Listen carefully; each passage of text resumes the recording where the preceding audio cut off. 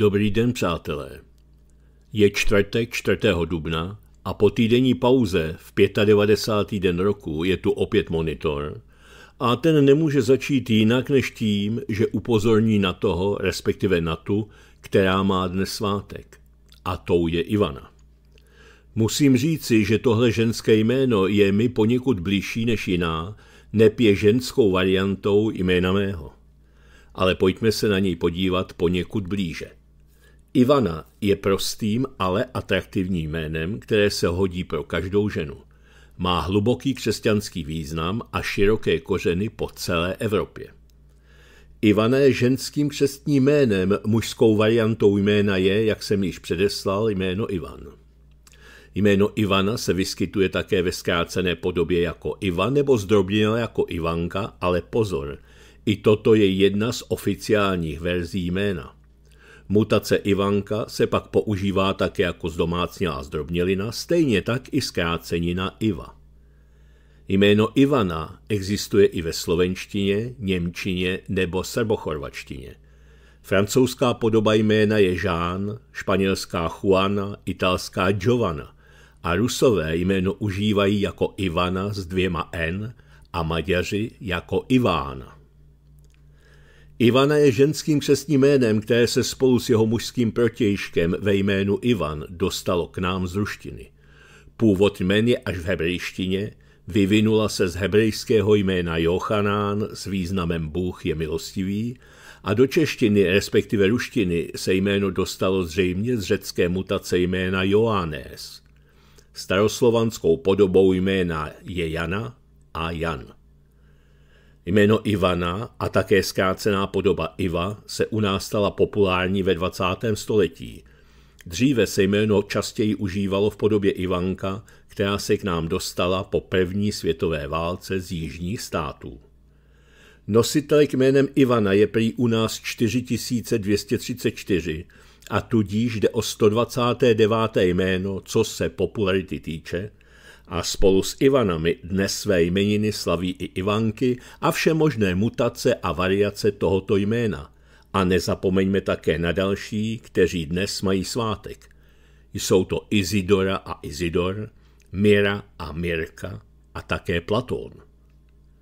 A dnes je také Mezinárodní den proti nášlapným minám a pozor, dnešní den je světovým dnem potkanů. Po probrání a samozřejmě popsání všeho nejlepšího všem před chvílí jmenovaným je na řadě malé historické okénko. 4. dubna se v dějinách stalo následující. Roku 1081 usedá na byzantský trůn Alexios I. Komnenos. Z roku 1147 jsou první historické zprávy o Moskvě. A roku 1325 Jan Lucemburský zakázal v období od zrání vín do Velikonoc nalévat rakouská vína. Učinil tak na ochranu domácích vinařů před jejich zahraniční konkurencí. 4. dubna 1415 Husův přítel Jeroným Pražský přijel do Kostnice. Byl poznán, uvězněn a o rok později upálen. A v roce 1628, 4. dubna, v Banskobystrickém dole boží požehnání jeho vrchní střelmistr Gašpar Weingl jako první na světě úspěšně provedl odstřel tvrdých hornin. V roce 1655 na příkaz pražského kardinála Arnošta Haracha byla zázračná soška pražského jezulátka slavnostně opatřena první zlatou korunkou. A 4. dubna 1790 se narodil Jan Jiří Krázl, jihomoravský a rakouský bandita a loupežník. A když už jsme u těch narození, tak roku 1832 se narodil Josef Zítek, to byl český architekt. A do třetice narození roku 1882 se narodil český kubistický malíř Emil Fila. 4. dubna 1945 Prezident Edvard Beneš jmenoval na osvobozeném území v Košicích novou vládu v čele se sociálním demokratem Zdeňkem Firlingerem. A dále v tento den převzala sovětská armáda kontrolu nad Maďarskem. A do třetice k tomuto dni začalo gruzínské povstání na Teselu, trvající do 20. května. Šlo o vzpouru praporu sovětských gruzínských vojáků na Teselu proti německým okupantům. Tohoto nizozemského ostrova během druhé světové války. Občas se proto používá termín poslední evropské bitevní pole. Na rok 1947 je datován hradecký program. Program zemědělské politiky komunistické strany Československa, vyhlášený Juliusem Durišem na manifestaci v Hradci Králové, který vycházel z principu, že půda patří těm, kdo na ní pracují, a požadoval rozšíření pozemkové reformy a likvidaci velkostatků. A dne 4. dubna 1949 byla založena veskrze obraná a mírumilovná organizace, totiž Severoatlantická aliance. No a v roce 1948, 4. dubna, začaly čtyřdenní oslavy šestistého výročí založení Univerzity Karlovy v Praze. Prezident republiky Edvard Beneš předal představitelům Karlovy univerzity obnovenou zakládací listinu. 4. dubna 1958 došlo k premiéře francouzsko-českého kresleného animovaného filmu režiséra Eduarda Hoffmana a francouzského výtvarníka Žána Eiffela Stvoření světa. Komentář namluvil Jan Verich. 4. dubna 1968 byl zavražděn Jamesem Earlem Rayem v motelu v Memphisu ve státě Tennessee Martin Luther King Jr. A o rok později roku 1969 se na protest proti normalizační politice v Jihlavě upálil Evžen Plocek. V roce 2005, 4. dubna, minister spravedlnosti Pavel Němec vyhověl žádosti Kataru o vydání prince Hainda bin Abdal Sáního, vazebně stíhaného za pohlavní zneužívání, ohrožování výchovy mládeže a kuplířství. Jak to s milým princem dopadlo, si nejspíš všichni pamatujete. Ale jen krátce pro připomenutí, protože historická, respektive politická paměť občanů této země je velice krátká. Pavel Němec byl ministrem spravedlnosti v té době už skomírající Unie svobody, této pochybné strany, kterou vygenerovala ODS. Němec se osobně zasazoval o předání sáního do Kataru – to bylo v rozporu s názorem nejvyšší státní zástupkyně i odborníků ze samotného ministerstva a nakonec to souviselo i s odvoláním nejvyšší státní zástupkyně Marie Benešové. Němec se proto obrátil na nejvyšší soud České republiky, který jeho postup označil za zákonný. V době svého působení na ministerstvu Němec v Arabských Emirátech pobýval a v roce 2005 tam měl dokonce v Dubaji svatbu. Neber úplatky, neber úplatky, zblázníš se z toho. Jak vidno, jsou i tací, kteří se nezblázní, ale napakují se na nich. Ale pozor, okamžitě zapomeňte na to, že toto by se mohlo týkat i případu Pavla Němce už proto, že to bylo za vlády křišťálově čistého standy. Vypečeným ministrem spravedlnosti končíme malé historické okénko a protože dnes nemáme žádnou pranostiku, tak přejdeme rovnou k teplotním rekordům vztahujícím se ke 4. dubnu. V roce 1900 naměřili teploměry minus 5,7 stupně Celsia, zatímco v roce 1953 bylo globální oteplování v plném proudu, a teploměry ukázaly rovných 23 stupňů Celzia, samozřejmě plus. Tak to bychom měli na úvod dnešního monitoru vše a spolu s ním se můžeme vydat do mediálního prostoru. Máme na to zhruba 50 minut a začneme takto. Necenzurovaná pravda zpracovala článek z francouzského Resistance Républicaine, tedy v překladu Republikánský odboj. Pesimistický průzkum do eurovoleb. Eurohujerské frakce mají drtivou většinu a změna kurzu je nemožná. Možná jste si všimli, že se u nás průzkumy do eurovoleb prakticky nezveřejňují, zatímco k jiným volbám, nyní zejména parlamentním, se objevují neustále. A to i přesto, že tyto volby jsou poměrně daleko. V jiných zemích se průzkumy do eurovoleb objevují v této době neustále, což je však možná dáno i tím, že je tam tradičně účast u voleb do Evropského parlamentu vyšší. Průzkumy mají za cíl podnítit volbu v uvozovkách správných stran či kandidátů. To jsme mohli jasně vidět u nás i na Slovensku o prezidentských volbách. Rok předem u nás vybrali tři členy Aspenu, kteří byli předvedeni jako jediní možní kandidáti a byli takto od počátku jako favorité odděleni. Tam byla manipulace tak křiklavá, že to ani více nešlo. Totež se nyní děje na Slovensku, kde byli od začátku představeni jako hlavní favorité dva eurohujeři.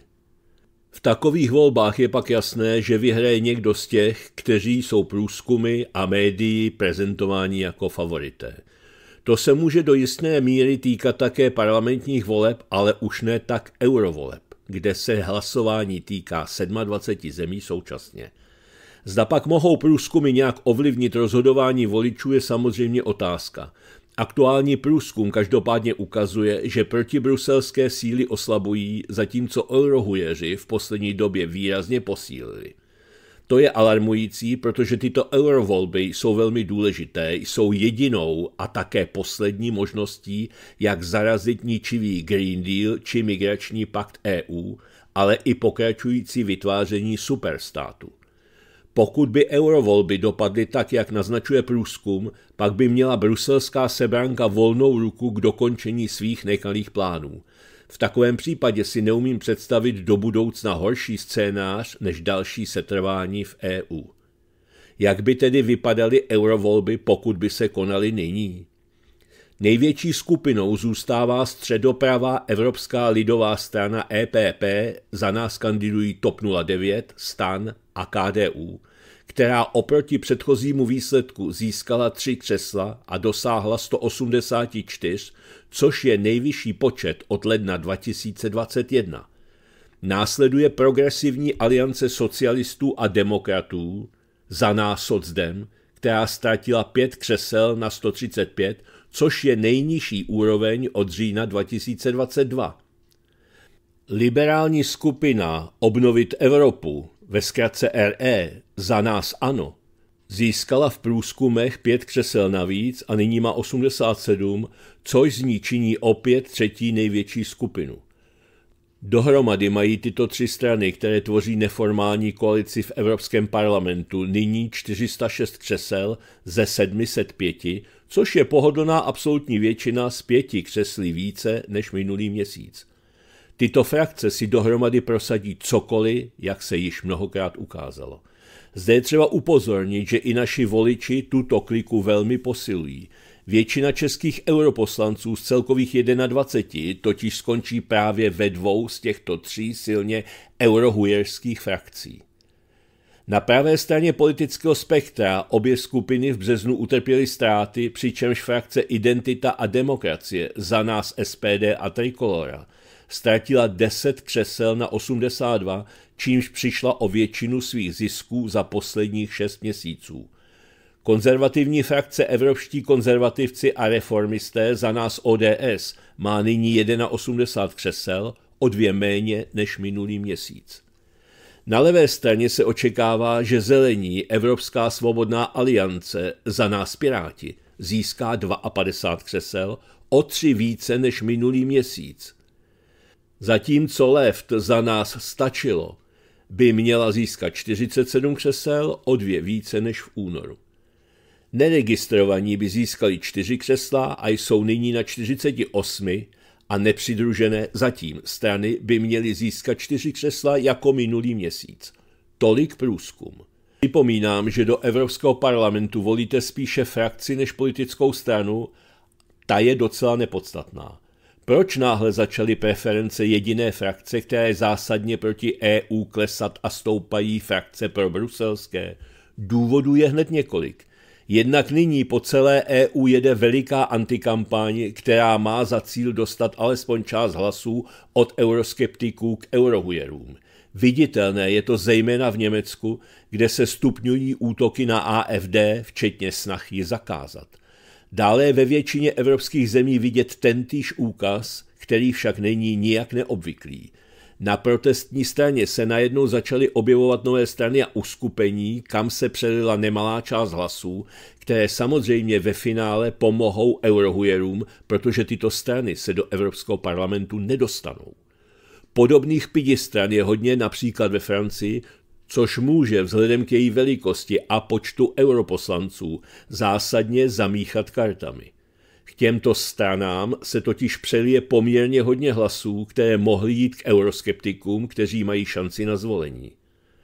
Ostatně takové rojení malých stran před každými volbami známe i u nás. Totéž sledují po celé Evropě, což naznačuje, že se jedná o záměr.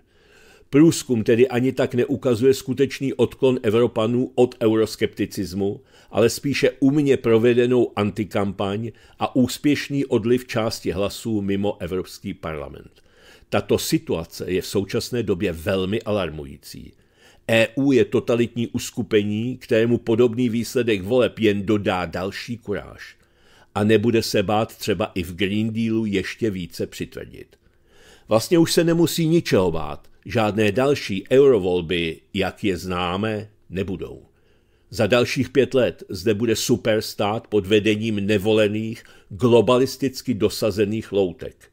K podobnému výsledku si pak mohou pogratulovat i ti, kteří se na tom podíleli třeba jen tím, že svým hlasem podpořili škůdce, svůj hlas vyhodili nebo se voleb vůbec nezúčastnili. Na to lze docela dobře navázat komentářem doktora Ivana Davida. Totalita ukrajinského typu. BIS se snaží ovlivnit volby do Evropského parlamentu a snaží se pomoci vládě přeměnit Českou republiku na totalitní stát ukrajinského typu. Cíl je jasný. Máme za zájmy USA bojovat proti Rusku do posledního českého občana – BIS má ambice celounijní. Takže také do posledního Maďara, Slováka, Poláka, Rumuna a tak dále. Západu Unie se to zatím netýká. Španěl Josef Borrell, vysoký představitel EU pro zahraniční věci a bezpečnostní politiku, nám to jasně vysvětlil. Nemůžeme nechat Rusko vyhrát tuto válku. V opačném případě velmi utrpí zájmy Spojených států a Evropy – Není to jen o štědrosti. Nejde o to podporovat Ukrajinu, protože Ukrajince milujeme. Je to v našem vlastním zájmu. A je to také v zájmu Spojených států jako globálního hráče. Jasněji pro každého zabedněnce to říci nemohl. Jde o zájem Spojených států zachovat si postavení první velmoci. Postavení, které je ohroženo. Unijní vazalové v roli nejvyšších představitelů zatím obětují zájmy občanů zemí EU. Nejdříve těch na východě, které si zprivatizovali.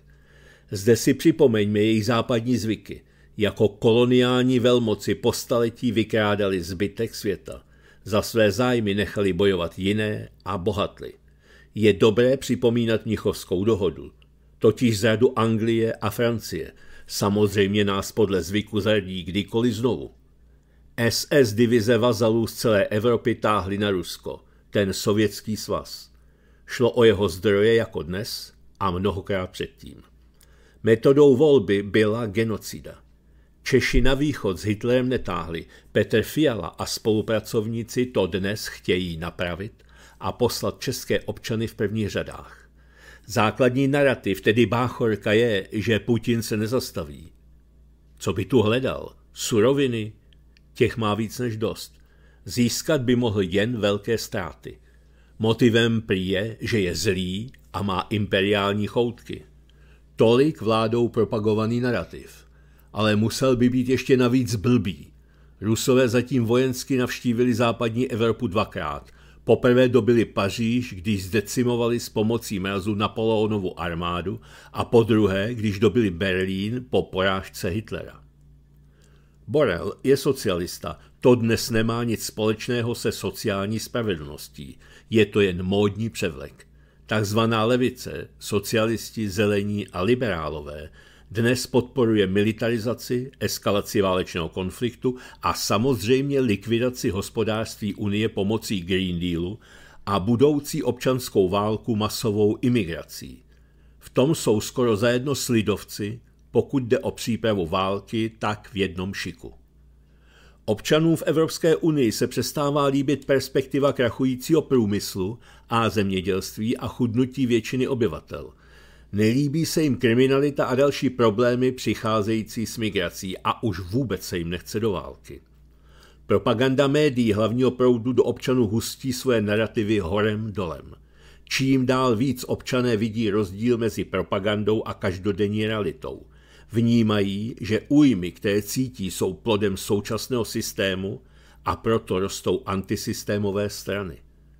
Evropská unie má na potlačování svojí jourovou pro evropské hodnoty v čele s cenzurou a nástupem totality ke zvládnutí nespokojenosti. My antisystémoví jsme nálepkováni jako fašisté nebo nacisté, jenže jsme to naopak my, kdo hájí demokracii proti jimi zaváděné totalitě. Petr Fiala jako mnohokrát usvědčený lhář se na Twitteru nebo X chlubí, odhalili jsme pro ruskou síť. Ne, to bys se snaží zatáhnout do předvolebního boje. Po volbách do Evropského parlamentu na začátku června by se totiž mohlo stát, že by jejich systém skončil v propadlišti dějin. Čučkař generál Koudelka jako obvykle nepředložil žádné důkazy, jen tvrzení, která by u žádného soudu neobstála. A řada v uvozovkách systémových médií obvinění opakuje. Obvinění jsou směšná, ale postačující pro hloupého povrchního čtenáře zvyklého předem souhlasit s aktuální vrchností. Poslanec německého parlamentu Bistern prý dostal peníze od jakési ruské agentury. Ano. A kdy? A kolik? A za co? Hluboké mlčení.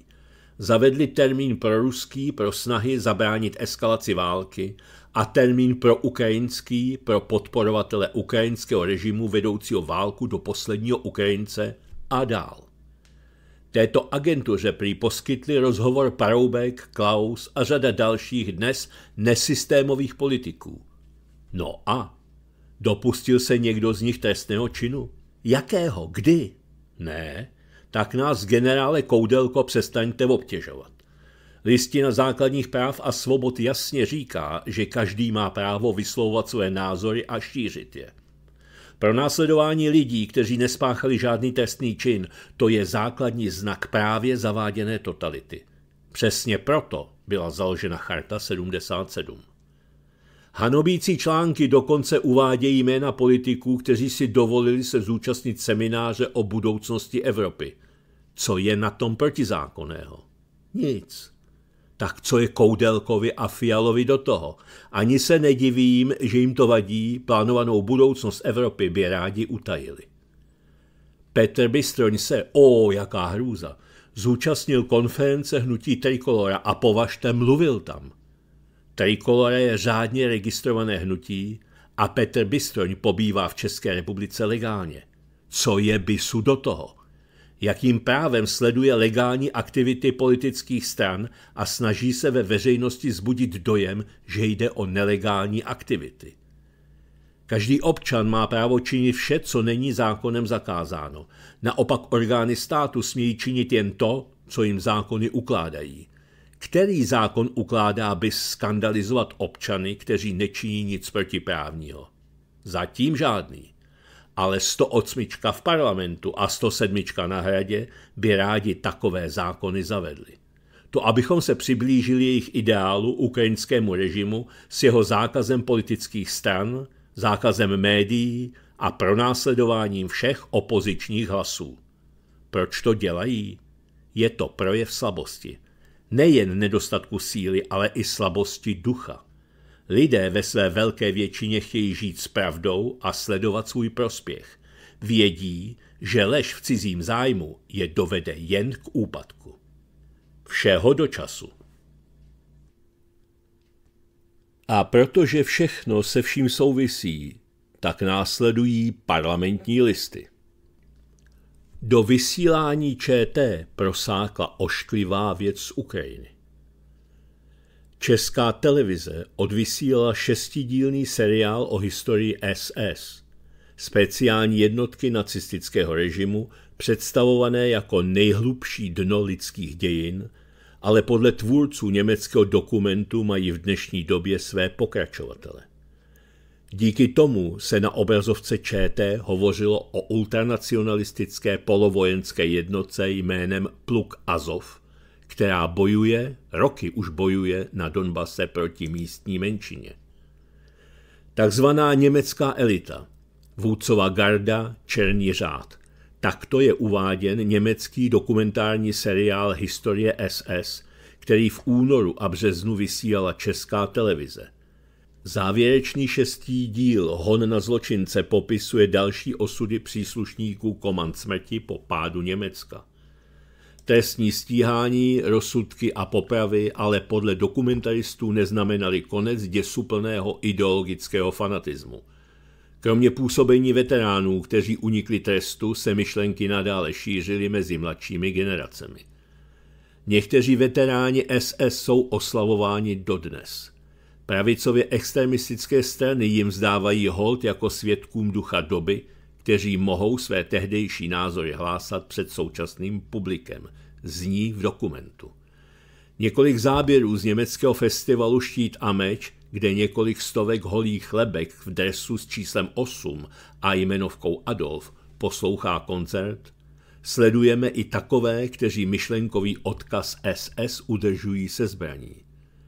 Pravicové rokové festivaly jsou příhodným náborovým místem například pro pluk Azov, polovojenskou, dobrovolnickou, ultranacionalistickou jednotku, jejíž příslušníci bojují v ukrajinském konfliktu proti proruským separatistům. V řadách pluku Azov prý v roce 2017 bojovalo 2,5 tisíce zahraničních bojovníků, včetně Němců. Jejich poznávacím znamením je symbol vlčí pasti, který nosívali příslušníci dispoziční jednotky SS – zaznělo na samém konci dokumentu, když jsme se přenesli do současnosti. Je třeba dodat, že dokument byl vyroben v roce 2021. Hloupost lidí při používání některých nacistických symbolů zjevně nezná mezí, komentoval to židovský historik profesor Moshe Zimmerman.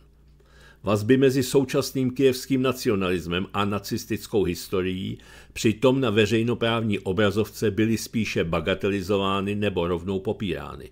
Samotný prapor Azov byl bagatelizován jako zanedbatelná záležitost několika lidí, odpovídající svou velikostí jednomu armádnímu praporu. Nejobvyklejším argumentem bylo, že svastiky a další nacistická symbolika dnes slouží pozitivní myšlence ukrajinského odporu proti ruské invazi. Naopak byly připomínány paralely mezi postupem Hitlerova Německa a dnešní ruskou invazí na Ukrajině, včetně paralely osobnosti německého diktátora s prezidentem Putinem – na některých sociálních sítích se pro něj ujala zkrátka Putler a samotný název Rusko byl v posledních dvou letech často psán se dvěma S. V zemích, kde historické povědomí o druhé světové válce není až tak silné, se potom odehrávaly i takové věci jako oslavný potlesk pro Jaroslava Hunku, veterána jednotky SS Galície, které je přičítáno hned několik válečných zločinů na východní frontě – její aktivity byly v dokumentu ZDF rovněž poměrně obsáhle zmapovány. Veterána druhé světové války, který tehdy bojoval za ukrajinskou nezávislost proti Rusku a dodnes podporuje ukrajinské jednotky, i když je mu už 98 let, vítal jej předseda kanadského parlamentu při projevu Volodymyra Zelenského a pišně dodal, že tento hrdina je voličem právě v jeho obvodě. A já musím dodat, že ten titulek z parlamentních listů měl spíš znít, kde asi udělali soudruzi v ČT chybu. Jak se tak na to koukám, tak se zase jednou naše pravdomluvná ČT pěkně sekla a vysílala pravdu. Nějak to ta ČT neuhlídala a ta pravda jim tak nějak protekla mezi prsty, anebo jinak. Jako obvykle ČT řekla pravdu, ale jako obvykle ji neřekla celou a některé nehodící se okolnosti zamlčela, například i to, že polovojenské nacionalistické jednotky typu Azov se po Majdanu staly součástí ukrajinské armády a že genocidu ukrajinských Rusů prováděli se souhlasem a podporou ukrajinské vlády. Na druhou stranu je nutno říci, že tenhle seriál je německý a z roku 2021.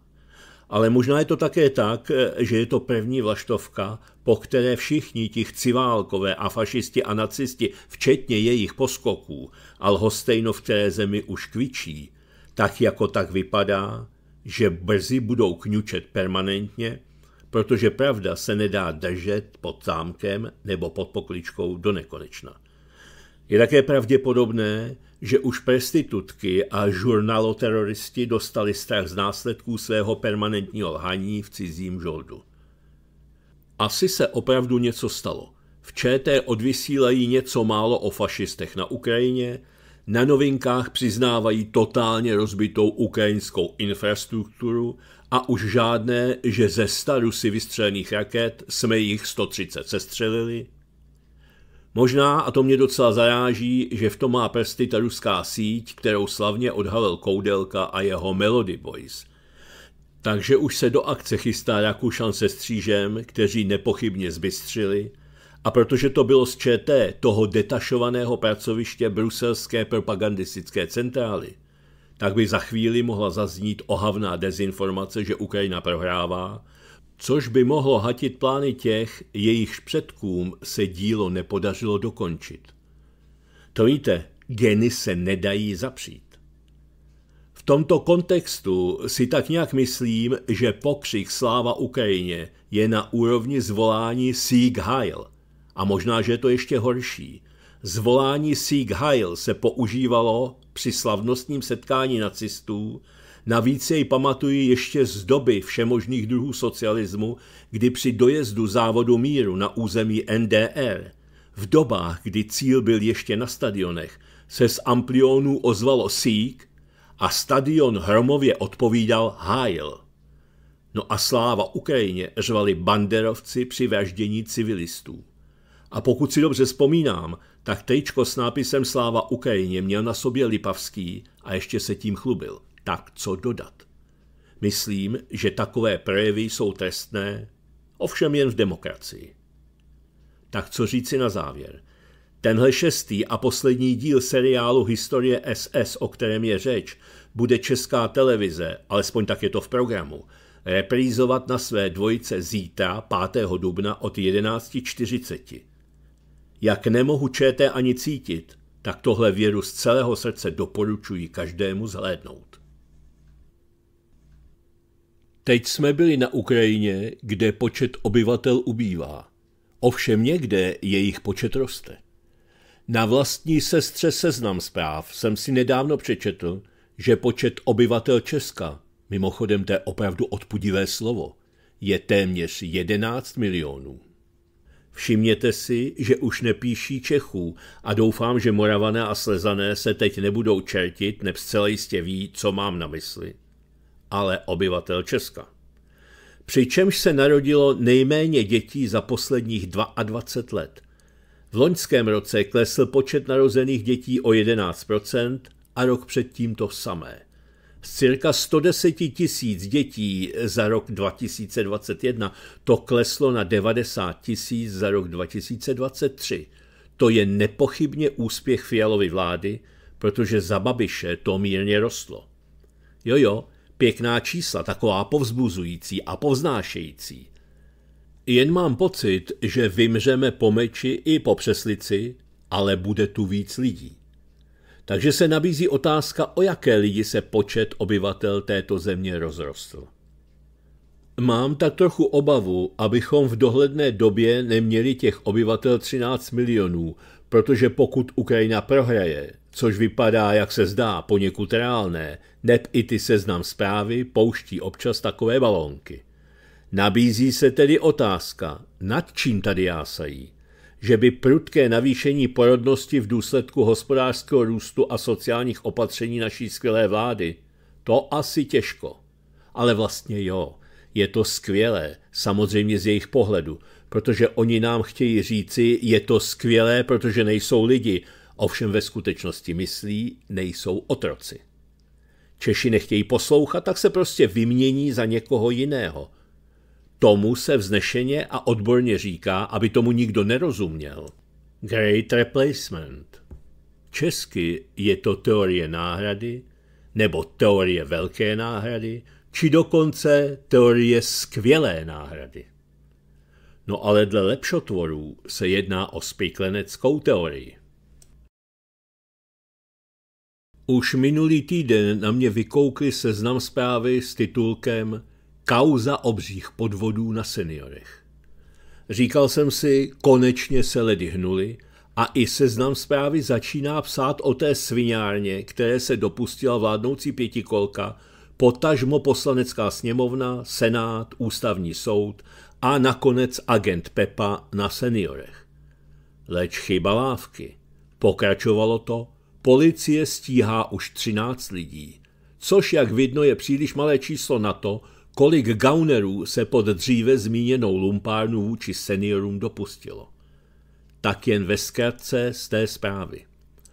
Více než tisícovka seniorů často přišla od celoživotní úspory. Kriminalisté z Národní centrály proti organizovanému zločinu rozšířili obvinění v případě holdingu Ramfin. Trestně stíhají 13 lidí spolupracujících v 18 společnostech a případ, v němž obvinění lákali klienty starších 50 let na fiktivní investice, dál narůstá. Kriminalisté Národní centrály organizovaného zločinu zahájili v uplynulých dnech trestní stíhání 13 fyzických osob v součinnosti se skupinou 18 navzájem spolupracujících společností zastřešených pod názvem Ramfin, uvedl mluvčí Národní centrály proti organizovanému zločinu Jaroslav Ibehej. Pokud se prokáže vina, půjde o největší podvody na starých lidech v současné historii Česka.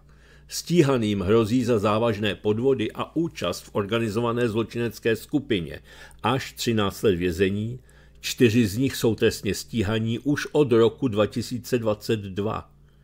Policisté je stíhají na svobodě a případ dozoruje vrchní státní zastupitelství v Olomouci. Tak tedy, jako obvykle, jsou zase seznam zprávy daleko od pravdy, protože napíší že pokud se prokáže vina, půjde o největší podvody na starých lidech v novodobé historii Česka.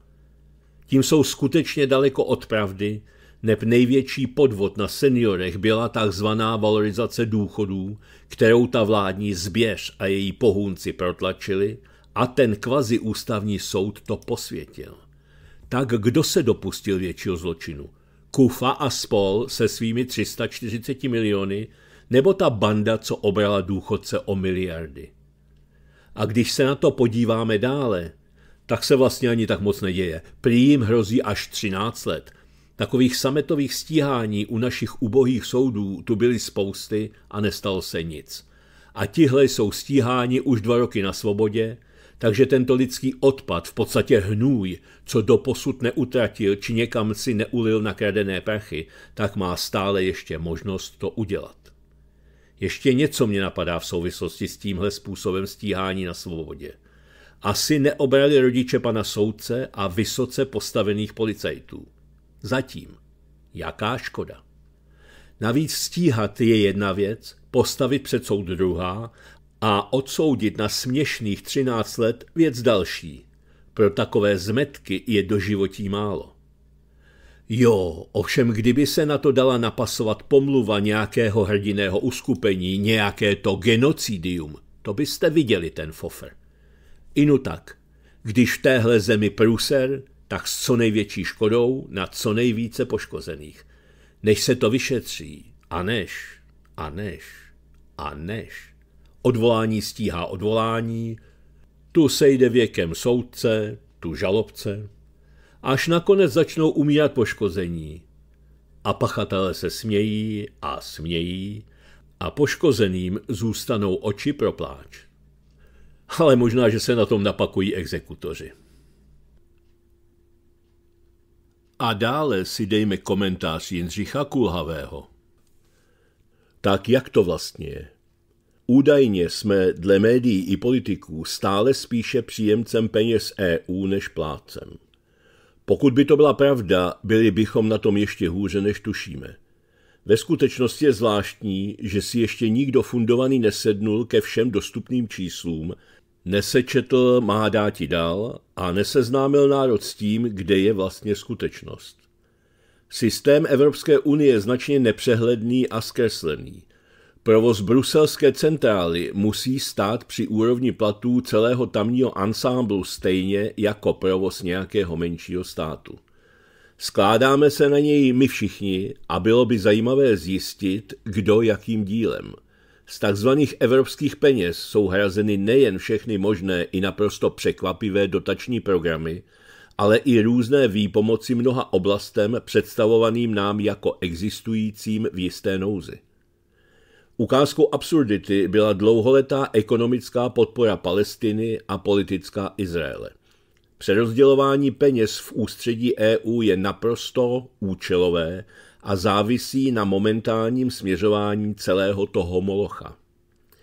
Úlitby farmaceutickým společnostem, solárním a větrným baronům či jiným zájmovým skupinám musí stát nekřesťanské peníze.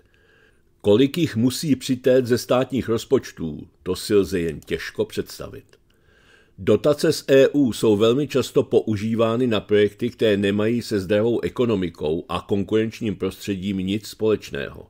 Jednotlivé akce poté sice podléhají tvrdé kontrole, nicméně pro úspěšnost uplatnění dotací jsou často nutné mnohé lobbingy. Například stavební firmy jsou vystavené těžko splnitelným podmínkám, kdy jsou vypracované projekty špatné a těžko realizovatelné, ale jejich změny v průběhu staveb jsou nelogicky velmi omezené. A to i když se nijak výrazně nenavyšuje cena. Na kvalitu samotných schválených projektů se raději neptejte a na potřebu improvizovat také ne. O zbytečnosti některých můžeme polemizovat do nekonečna a je s podivem, na co vše lze vyškrábnout pár milionů. Vždyť to platí EU. Bohužel poté peníze chybí úplně jinde. Dle médií nám Brusel vyčítá nedostatečně využívané finance na stavbu nových dálnic a nově nám zakazuje používat tyto peníze na silnice třetí a čtvrté třídy. Netušíme, kam tedy ty prachy mizí, když si uvědomíme stav těchto komunikací. Samotné dálnice mají u nás také podezřele nízkou životnost a pravdou je, že z Polska a Rakouska, o Německu nemluvě, jsou dálniční úseky dovedeny k hranicím dříve než z našeho vnitrozemí. Zdá se, že sabotujeme možnost rychlého přesunu vojsk ze západní Evropy na východ, ale zatím vším je vnímatelná spíše neschopnost než úmysl. Jisté je, že nyní budou sice možná přibývat malinko rychleji dálniční úseky, ale zbytek silnic bude vhodný tak pro traktory. O výhodnosti být součástí EU polemizujeme všichni. Skutečné a neskreslené výsledky hospodaření našeho státu i mezinárodního společenství jsou nedostupné a nelze si udělat představu o tom, co se skutečně děje. Občas se dozvíme, co je z evropských peněz hrazené, ale nesmíme se divit. Většinou se ale nedozvíme vůbec nic. V této situaci nelze mít v EU ani malinký náznak důvěry. Falšují se výsledky jak u nás, tak i v celém společenství. Pokud jsme skutečně stále spíše příjemcem peněz EU, pak je to jedině proto, že náš těžký průmysl přestal existovat, lehký a potravinářský přešel do cizích rukou, zemědělství je utlumováno a politici kradou. Po roce 1989 jsme byli na dobré cestě k jisté obnově zastaralých, ovšem stále dostatečně produkujících technologií, Bohužel jsme z této cesty sešli. Ve skutečnosti jsme žádnou EU ani RVHP nepotřebovali. V mnohém jsme byli soběstační a za suroviny platili prací. Stačilo 35 let drancování státu a jsme zadlužení, nesamostatní a kolonizovaní. Kdysi bychom se bez dotací a potřeby přerozdělovat naše peníze jinde obešli. Nyní prý ne. Tak kdo někdy přinese součty toho, jak se u nás hospodaří. Médiím a slovům politiků o tom, že bez EU existovat nemůžeme, věří jen naprostí hlupáci. Pravdou je, že systém je nastaven tak, aby samostatnost byla co nejtěžší. Evropskými volbami jsme dnes začínali, evropskými volbami dnes skončíme. Je tu komentář Štěpána Chába. Já to nevěděl, já to nevěděl. Odpuste mi, pane Obersturmführer. tak naši čučkaři z BIS se pustili na politickou dráhu a snaží se ovlivnit výsledky voleb do Evropského parlamentu. Obvinili dle vzorce Mouřenín posloužil, Mouřenín může jít, zcela marginální a neviditelný web Voice of Europe s cílem ovlivnit celou Evropskou unii a zvrátit výsledek voleb na Putinovu stranu. Do toho se nám ozvali moudří hosté pozvaní českou televizí, kteří pravili, že kritizovat BIS je už samo o sobě proruské a silně podezřelé. Začněme kauzou BIS. BIS oznámila, že web Voice of Europe jel vlivovou akci zacílenou na politiky, korumpoval je a přikláněl je na temnou stranu síly. A to za pomoci úplatků tvrdí Pavlačová drbna koudelka, druhdy plukovník, dnes s rukou rozvědčíka po hříchu generál. Braní úplatků všichni popřeli, nikdo nebyl za jejich braní vzat do vazby ani nechytil trestní oznámení. Mediální obvinění chytili od koudelky bývalý prezident Klaus, bývalý poslanec Cyril Svoboda, demonstrující opoziční Krajchl nebo například poslanec německé AFD Petr Bystroň, který byl obviněn opět pouze mediálně, tedy bez nutnosti předložit důkazy, zbraní úplatků od zmíněného až děsivě nebezpečného webu. Petr Fiala, geroj našich dní, na sociálních sítích oznámil, že s webem Voice of Europe je útrum. Stejně jako já se tedy nikdo nemůže kouknout, co nás tak ohrožovalo. Fiala spolu s Koudelkou, jako ti praví Čuk a Gek, odhalili ruské podhoubí a rozmetali ho na kusy. Do toho pro pobavení lidu se rozvědčík na hradě proletěl po vzoru Vladimíra Putina letadlem, aby ukázal, že i on je gerojem našich dní a srdcí, což je něco jako zvířátko nakonec v televizních zprávách. Označit přímo za poetickou se dá odpověď bývalého poslance Cyrila Svobody na otázku, jak mohl poskytnout rozhovor tak toxickému webu, jako byl Voice of Europe. Jak se mohl vědět, že to bude bezpečnostní hrozba? V době, kdy jsem poskytl rozhovor, nebyli na žádném seznamu. Teď bych rozhovor neposkytl, ale nebyli na žádném seznamu, když jsem ho poskytl. Svoboda ubezpečil veřejnost, že od webu žádnou platbu nepřijal. Ale všimněme si toho neuvěřitelného strachu ve slovech svobody.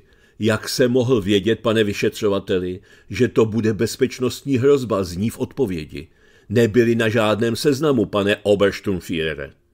To splynulo z rtů Cyrila Svobody místo sebevědomé odpovědi člověka, žijícího ve svobodné demokratické společnosti, která by měla znít nějak takto. Nestojíte mi s tím kádrováním za odpověď, bolševiku totalitářský. Teď otázka. Jak přesně se ovlivnila politika v Evropské unii, když určití politici z víceméně konzervativního politického spektra měli k dispozici o jeden mediální server víc? Navíc server, který byl prakticky neviditelný, nefiguroval v žebříčcích nejčtenějších a běžný člověk na něj tedy ani nenarazil. Přiznávám, že jsem o něm od čučkařů slyšel prvně. A jaký dopad může mít ono šokující odhalení našich čučkařů a následné tajtadlíkovské gesto našeho nejvyššího z fialů na volby do Evropského parlamentu? Všimněme si té nádherné manipulace. Zavřen server financovaný Ruskem. Nepopírám vůbec, jestli byl placen, když to ti čučkaři říkají, ale hnojomet se okamžitě obrátil proti politikům, kteří mu dali rozhovor. A ten poskytli bez vědomí toho, že je placen Ruskem. Prostě další ze stovky serverů, který dává prostor pro propagaci politikova smýšlení. Jenže nosledi čučkařů začnou zpětně, zdůrazňují zpětně kádrovat své politické oponenty. A to za něco, o čem neměli ani nemohli mít potuchy. Klaus poskytl rozhovor a ten dezolát Reichl a dezolátka Majerová z Trikolory, která teď peče z SPD Tomia Okamury. Ti všichni se teď mají omlouvat jako Cyril Svoboda. Sypu si popel, pane Obersturmführere. Za to, že jsou kádrovaní kádrováky novobolševismu. Za to, jakou politiku zastávají. Není protiputinovské, proruské ani dezinformační. To je sakra součást svobodné společnosti při zápolení politických stran. A to, že Putin nosí boty, neznamená, že všichni ostatní se musíme zout, abychom nebyli jako Putin. To je prostě dezinformační manipulace non plus ultra. A právě tu předvádí čučkaři ve spolupráci s vládními politiky a s přátelenými médii. Práci tajných služeb přetvořili na politický souboj na prosté chucpe. Ale obraťme se na českou televizi a její pečlivě vybrané hosty. Do útrop Kavčí hor zavítali bezpečnostní analytik Otakar Foltín a začal hovořit. Bude to dlouhý citát, protože z jeho myšlenkového průvanu ve veřejnoprávní televizi se nesmí vynechat jediné slovo. Rusko se snaží vyvolat dojem, že nic není pravda – to znamená, pokud nebudete věřit základním hodnotám, na kterých stojí váš stát, nebudete věřit svým vlastním institucím, budete spochybňovat například své vlastní tajné služby a nechci sahat do svědomí některým bývalým ústavním činitelům, tak pokud tímto způsobem znevěrohodňujete svůj vlastní stát a své vlastní bezpečnostní složky, tak samozřejmě děláte přesně to, co ty ruské tajné služby chtějí. To znamená první markant, který vám řekne, pravděpodobně je to ruská propaganda, je spochybňování samotné existence pravdy. Druhé, co může být velmi návodné, tak je hra na emoce. To znamená vyvolávání něčeho, co vás vyděsí nebo naštve. To jsou nejrychlejší emoce, které samozřejmě zejména v prostředí algoritmu sociálních sítí fungují velmi dobře. To znamená, pokud mě něco opravdu na první dobrou vytočí, anebo ve mně vyvolává strach, velmi pravděpodobně někdo tyto emoce zneužívá. Pak samozřejmě je potřeba si uvědomit to, že dobrá dezinformace není založena primárně na očividné lži, ale namixována je s něčím, co má reálný základ a teprve k tomu následně připojíte nějakou lež. A úplně poslední znak je velmi typický tím, co třeba bylo, jestli si pamatujete sestřelení holandského letadla MH17, tak jenom během prvního měsíce Rusko vypustilo 30 různých verzí toho, co se stalo. To znamená úplné zamlžení reality.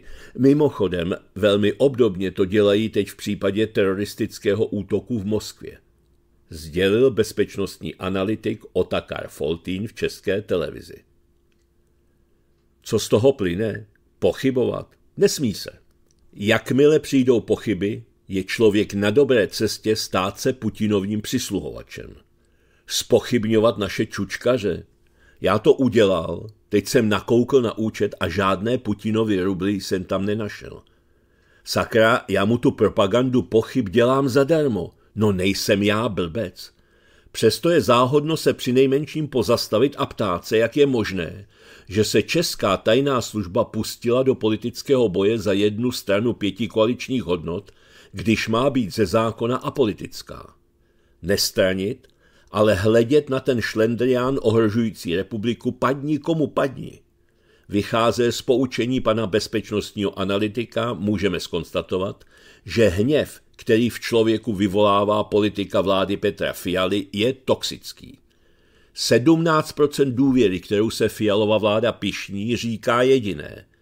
Těch 83% občanů, kteří vládě dle průzkumu nevěří, je na dobré cestě sloužit Putinově říši, protože mají pochyby o správnosti Fialovy politiky a pohled na jejich práci v nich nutně vzbuzuje celou škálu emocí, povětšinou negativních a jakmile se něco takového děje, je člověk na dobré cestě stát se příjemcem úplatků Putinovy diverzní skupiny. Není to popírání veškeré demokracie, na kterou si tu stále hrajeme. Nepopírá to i samotnou soutěž politických stran. A pozor, jen co bezpečnostní analytik pohovořil o dezinformacích a jak je rozeznat, sám se do dezinformování pustil – bez faktů, bez opěrky v realitě, jen dohady předpokládané jako fakta. Rozdíl v případě tohoto posledního přeletu té ruské rakety spočívá v tom, že všechno nasvědčuje tomu, že to nebyla navigační chyba nebo technický omyl. Samozřejmě je velmi těžké takovéto tvrzení forenzně prokázat, nicméně na rozdíl od těch předchozích případů, kdy se mohlo jednat o následek rušení v případě samotného sestřelení na ukrajinské straně a podobně, v tomto případě se zdá, že to byla provokace. Vyvolával Foltín v české televizi strach a hněv. Tedy ony toxické emoce, které lze při dobré analytikově vůli označit za lahodící Putinově dezinformační politice. Je to, co říká možné, ale jistě. Bezpečnostní analytik ukázal pochyby o tom, že raketa nad Polskem byla technická chyba a míní, že to byl záměr. Pochyby, pochyby. Jenže ty správné, pochybovat správně se může. Pochybovat špatně se nemůže. Jsem přesvědčen, že bys se pokusil zatáhnout do voleb do Evropského parlamentu, aby zajistila neliberálním progresivistům pokračování v destrukci Evropy. To jsou ty špatné pochyby. Žel, brzy se budu po vzoru Cyrila Svobody třeba strachem a volat já to nevěděl, já to nevěděl, odpuste mi, pane Obersturmführer. Ale nezůstaneme jen u bezpečnostního analytika Foltína. Nakoukneme do kuchyně i příteli po boku Petru Kolářovi. Ten, kde jinde než v české televizi vysvětlil, že se na nás neřítí cenzura, ale je potřeba pochytat diverzní skupinu nepřátel působících na našem území. Cenzura je v případě, že omezujete svobodu slova. Tady si myslím, že nejde o omezení svobody slova, ale o identifikaci diverzní skupiny, která má úkol umět s lidmi manipulovat a získávat je pro ruské zájmy, pravil pro ČT Petr Kolář, přítel po boku a loutkovodič našeho rozvědčíka. Co je diverzní skupina? Jsem já součástí diverzní skupiny, když kritizuju BIS, pěti koalici, směřování EU, Green Deal, koláře s Foltínem Českou televizi? A není to blbost? Vždyť jen uplatňuju nescizitelné právo občana svobodné společnosti nesouhlasit a kritizovat. A zdá se, že nová doba takové právo svobodné společnosti začne označovat za diverzní a bude volat potom, aby bylo omezené. Víte co, pane Foltíne, Koudelko, Fialo, Koláři, Pavle? Jděte s tím do prdele. Já do toho vašeho nově vybroušeného a líbivě nalakovaného bolševismu nechci. To vy jste diverzní skupina, která ničí a likviduje svobodu České republiky. Jděte domů, nastavte ruce, nechte si přes ně dát od rodičů proutkem a pak pár dní klečet na hrachu. Pro ty vaše mocensko vlivové choutky nesmíte zničit svobodu země. Děláte to s úspěchem, ale na hrachu by vám to slušelo mnohem víc. A co je nejhorší? Mám takový neurčitý tísnivý pocit, že jsem tímto textem a nejen tímto překročil jistou nepsanou hranici a dostal se potenciálně na seznam s diverzní skupinou. A že mě může kdykoliv někdo z Koudelkova klanu nových bolševiků začít zkoumat a řešit. A to je přece strašně špatně. Tohle není svobodná společnost. Není. A to je pro dnešek úplně vše. Mám takový pocit, že ta hodina byla hrozně krátká. Nezbývá, než příště pokračovat. Od mikrofonu monitoru studia Kalich Svobodného rádia se loučí a na setkání v pondělí, ovšem dáli Bůh a cenzor, se těší Ivan Votava. Naschledanou.